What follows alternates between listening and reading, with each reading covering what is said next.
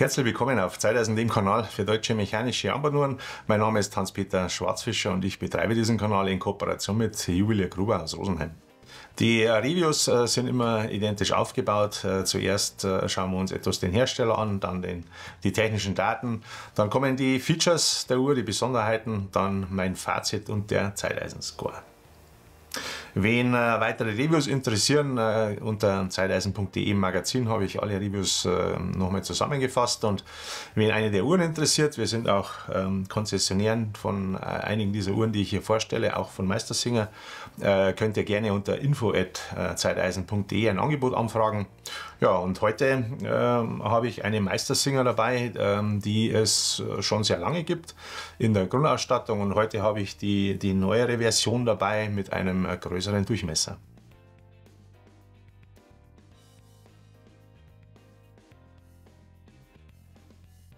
In den 80er Jahren und 90er Jahren wurden ja sehr viele Marken, alte Marken, deutsche äh, Marken wieder, ähm, ja, wiederbelebt ähm, oder, oder Marken wurden gekauft und, und wiederbelebt oder sie gingen in das, in das Eigentum von, von größeren Konzernen über.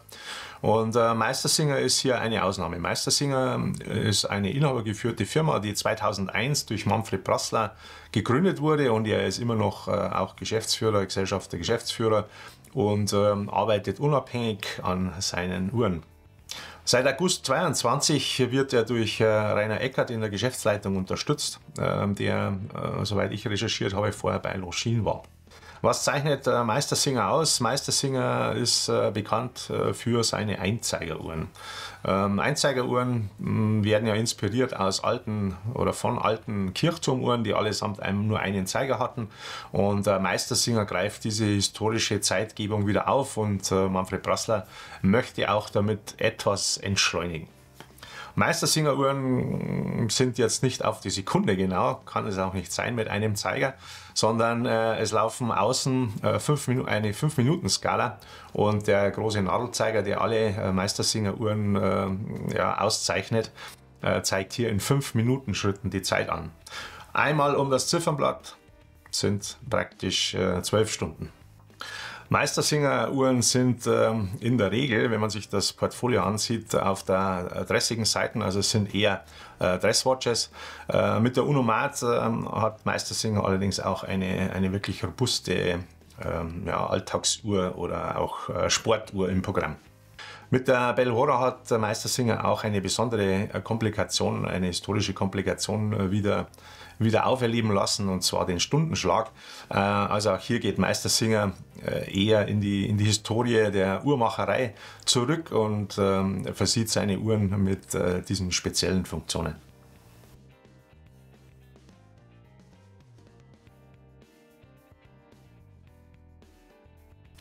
Ja, die Uhr, die ich heute dabei habe, ist ähm, ein, ein, ja, eine Uhr, die es äh, schon länger im Portfolio von Meistersinger gibt, die Nummer 3. Äh, allerdings ist die, die, ja, die, die alte Version, oder alt kann man nicht sagen, sondern die, die ursprüngliche Version 38 mm und ohne Datum und die heutige hat eine moderne Größe eben mit 40 mm und ähm, hat den, äh, ja, die, die Revisionsnummer PM902 Cäsar. Ja, das Gehäuse ist äh, ein Edelstahl, vollpoliertes Edelstahlgehäuse mit 40 mm. Der Lack-to-Lack liegt bei 46 mm. Der wasserdicht ist sie 5 Bar. Das ähm, Glas ist ein entspiegeltes Saphirglas. Es ist ein Sichtboden verbaut. Ähm, das Kaliber ist auf Basis eines Silita SW 200-1, aber durch Meistersinger modifiziert. Die Gangreserve von diesem Kaliber liegt bei 38 Stunden, der Bandanstoß bei 20 mm. Das Band ist ein braunes Lederband mit orangen äh, ja, Akzenten. Der Verschluss ist eine Dornschließe und der Preis liegt aktuell bei 1790 Euro Liste.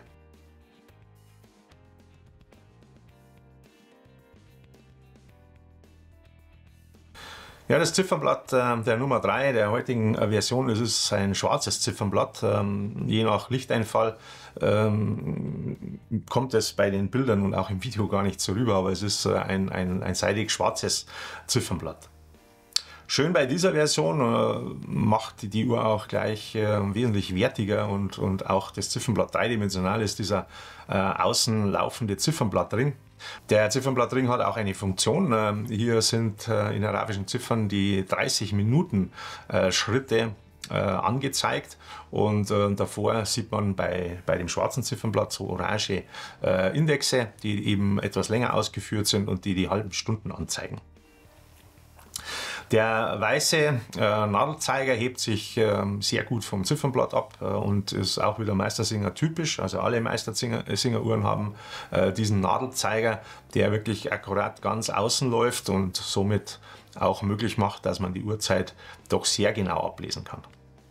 Sehr genau heißt bei Meistersinger äh, im 5-Minuten-Takt. Das ist bei Meistersinger sehr genau.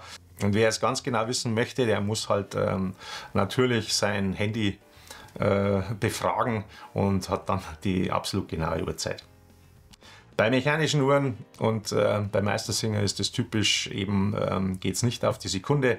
Und äh, das Ablesen dieser, dieser Skala ist, äh, wenn man äh, einige Übungen hat, auch problemlos möglich.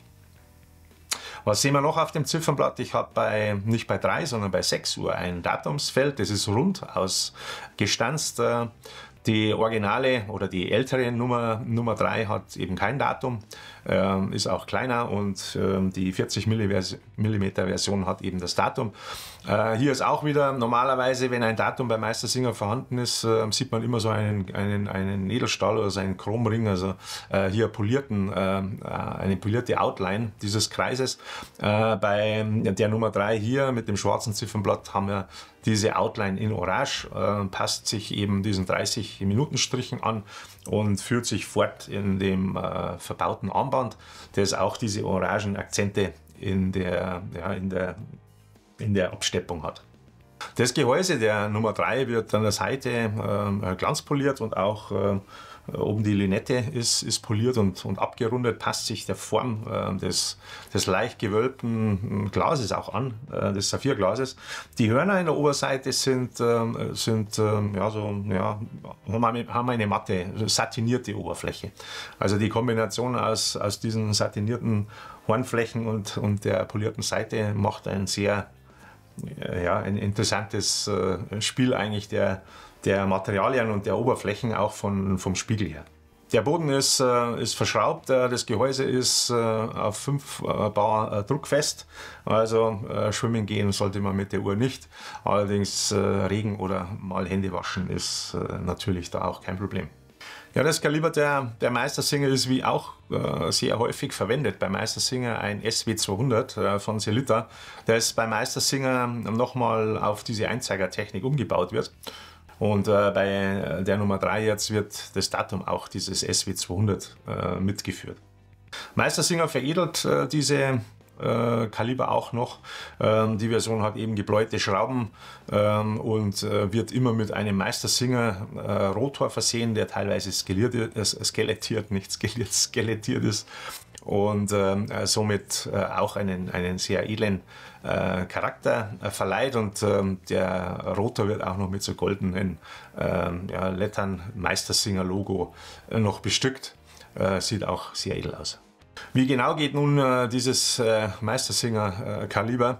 Meistersinger reguliert diese Selita-Werke immer sehr genau ein. Also ähm, die, die, die meisten Meistersinger-Uhren, die ich gemessen habe, äh, waren in, in, in, in der Chronometer-Toleranz. Obwohl nicht zertifiziert, aber äh, die, die Ganggenauigkeit ist ja trotzdem vorhanden. Und äh, bei der Version, die ich hier habe, also bei dieser speziellen Uhr, ist ja immer unterschiedlich. Jede Uhr wird natürlich anders einreguliert und, und, und wird sich anders zeigen. Aber bei der Uhr, und äh, obwohl sie neu ist und, und eben ähm, die, die Einlaufzeit noch nicht hinter sich hat, äh, ist sie schon mit äh, plus 1 bis plus 3 im Mittel gelaufen. Also äh, man sieht hier, dass Meistersinger äh, großen Wert auf die Qualität legt und hier äh, die Selita-Werke doch sehr genau einreguliert. Ja, wie trägt sich jetzt eine Nummer 3? Es ist eine sehr ähm, relativ flache Uhr und auch mit äh, einem kurzen Lack-to-Lack, -Lack, also ab 18 cm Handumfang Handumfang, äh, 18 cm Handgelenksumfang, so ist es richtig, ähm, dürfte sich die Uhr wirklich super tragen. 40 mm ähm, ist auch so der Grenzwert zwischen, zwischen einer Damen- und einer Herrenuhr. Also äh, man könnte sie auch Unisex bezeichnen. Also Damen, die große Uhren äh, gerne mögen, äh, sollten oder können sich gerne auch diese, diese Nummer 3 mal ansehen. Äh, sie trägt sich sehr klein und äh, deswegen auch für schmalere Handgelenke gut geeignet. Das verbaute äh, Band ist, ist ähm, ja auch sehr, sehr angenehm zu tragen. Ähm, es ist wasserfest auch, also von daher ähm, sehr unempfindlich und diese orangen Akzente machen sie natürlich nochmal zum Hingucker. Jedes äh, Band von äh, Meistersinger hat auch eine Meistersinger gelabelte Schließe. Auch hier ist diese Dornschließe poliert und Edelstahl und mit einem Meistersinger Logo versehen. Bei Meistersinger ist die Nummer 3 ähm, äh, eher die, ja, die, die Einstiegs- äh, oder hat, hat eher den Einstiegspreis, der 1790 Euro bei Meistersinger äh, bilden, bilden den Einstieg. Und ich denke mal für die Qualität der Uhr, äh, ich vergleiche sie jetzt äh, mit einer Junghans äh, Max Bill oder, oder einer Junghans Meister. Und ähm, da sind wir ungefähr beim gleichen Preisniveau.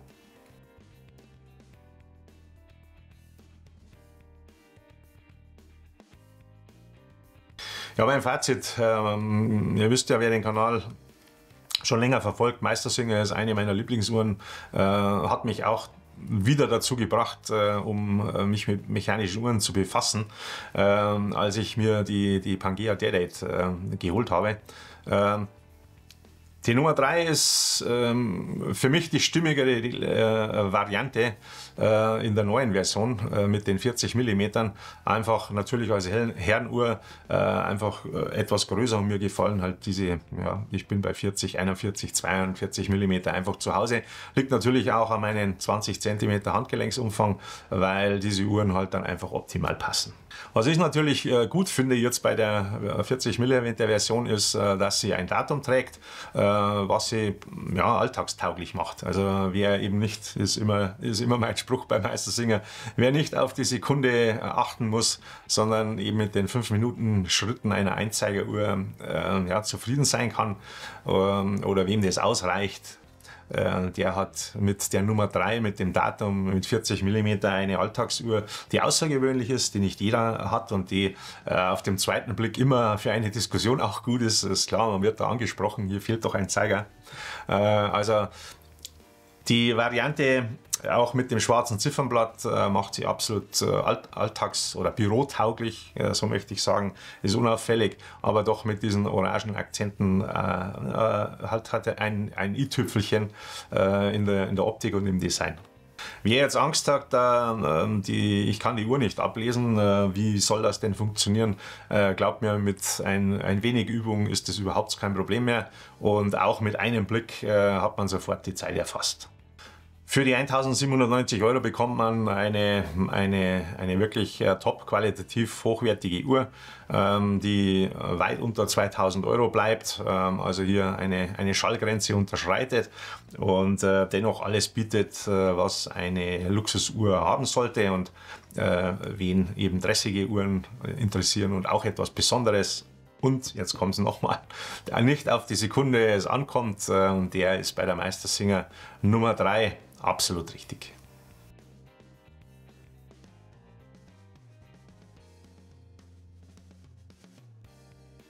Dementsprechend gut fällt auch mein äh, Zeiteisen-Score aus. Ich mag diese Uhr. Ähm, sie hat alles, was, äh, was ich mir vorstelle. 10 Bar Wasserdichtigkeit wäre jetzt noch schön, aber der äh, sechsfach mit einzelnen Schrauben verschraubte Boden lässt es wohl nicht zu.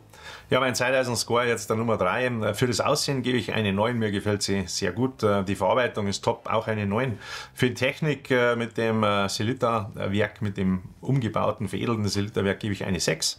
Die Funktionen, es ist eine, eine Einzeiger mit, mit Datum, gibt es eine 4. Der Tragekomfort ist top, eine 9. Wasserdicht eben nur 5 Bar, äh, eine 3. Preis-Leistung gibt es von mir eine 8,5, äh, was eine 48,5 im Gesamtranking macht von möglichen 70 Punkten. Wer den Zeiteisen-Score noch nicht kennt, 1 ist äh, wenig ausgeprägt oder nicht vorhanden.